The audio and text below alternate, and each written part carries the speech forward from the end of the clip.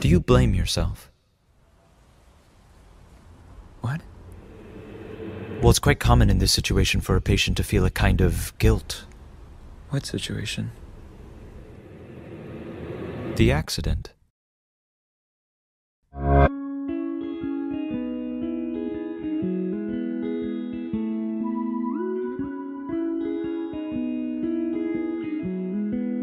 It's very common for people to invent blame or create a causality when in reality,